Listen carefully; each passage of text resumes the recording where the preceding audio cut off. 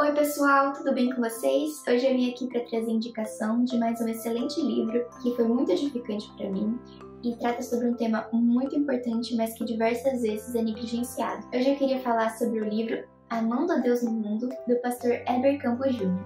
E eu queria começar lendo para vocês a biografia do autor. Heber Carlos de Campos Jr. É formado no Seminário Teológico Presbiteriano Reverendo José Manuel da Conceição, com mestrado em História da Igreja pelo Centro Presbiteriano de Pós-Graduação Andrew Jumper e doutorado em Teologia Histórica pelo Calvin Theological Seminary nos Estados Unidos. Pastor presbiteriano, docente tanto no CPAJ como no JMC. Casado com Natalie, pai de Bianca, Samuel e Nicole. Nesse precioso livro, o pastor Heber trata sobre o tema de cosmovisão, baseado no livro bíblico de Daniel, e como através de uma cosmovisão bíblica nós podemos amar a Deus no mundo. Ele inicia o livro falando sobre o conceito de cosmovisão. A palavra cosmovisão significa visão de mundo, como enxergamos as coisas que estão ao nosso redor. Muitas vezes podemos pensar que cosmovisão seria como lentes através das quais nós enxergamos o que nos cerca mas o pastor Eber nos mostra que essa seria uma visão falha, já que lentes podem ser retiradas. A nossa verdadeira cosmovisão, ela é mostrada a todo momento, com as nossas falas, com os nossos pensamentos, até mesmo aquilo que fazemos de forma mais impensada, revela nossa cosmovisão. Então, uma comparação melhor seria dizer que nossa cosmovisão seria como os nossos próprios olhos intrínseco a nós. Nós não podemos retirar os nossos olhos e trocá-los quando for conveniente. Então, a nossa cosmovisão, ela determina e molda as nossas ações, nossa forma de agir, nossos posicionamentos, molda a nossa vida. Por isso, é muito importante que nós tenhamos uma cosmovisão bíblica fundamentada na palavra de Deus, para que todos os aspectos e áreas de nossas vidas estejam debaixo do senhorio de Cristo. Nós não podemos viver uma vida dicotomizada, pensando que podemos usar uma lente para coisas mundanas e seculares e outra lente para as coisas de Deus, coisas da igreja. Cada aspecto, cada área de nossas vidas, sejam relacionamentos, seja trabalho, estudos, tudo quanto fizermos, somos ou tivermos, deve ser moldado por uma visão bíblica, deve ser para a glória de Deus.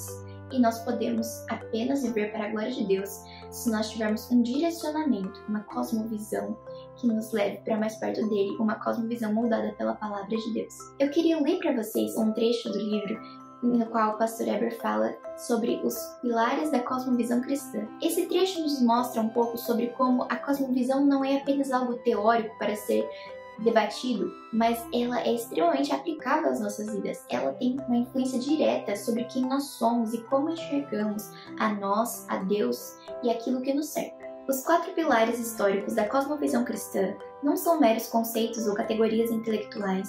Não se tratam de proposições atemporais, Criação não é só um fato para ser defendido no embate com evolucionistas naturalistas.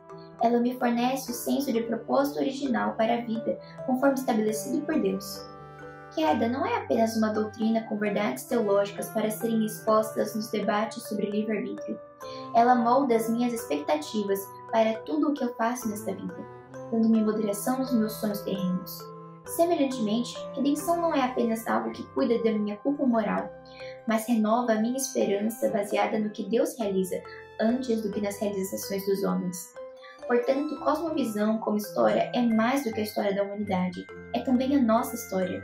Isto é, não devemos olhar para esses eventos da história como sendo chaves hermenêuticas apenas para interpretarmos o mundo ao nosso redor, mas inclusive para compreendermos a nossa própria vida o que sou essencialmente está calcado na doutrina da criação.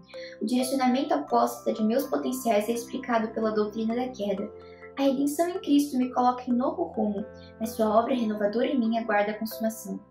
Criação, queda, redenção e consumação não é só a grande história, a metanarrativa, mas a minha história nessa grande história. Quando temos uma cosmovisão que está verdadeiramente enraizada na palavra de Deus, nós compreendemos que as sagradas escrituras não dizem respeito a coisas distantes, longe de nós, mas elas têm influência direta nas nossas vidas, elas nos guiam, nos moldam e assim podemos compreender melhor qual é o nosso propósito, para que fomos criados, por quem fomos criados, e não somente a nosso, nosso propósito, mas daquilo que nos cerca. Qual é o sentido da vida?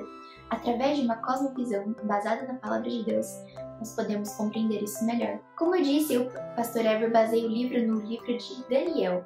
E ele nos mostra como esses jovens judeus, cuja história é narrada no livro de Daniel, estavam na Babilônia, exilados, muito envolvidos na vida política e social, porém não se amoldaram, não tiveram a sua cosmovisão moldada pela visão babilônica, pela visão mundana, mas eles foram fiéis à palavra de Deus e puderam servir o Senhor naquele reino.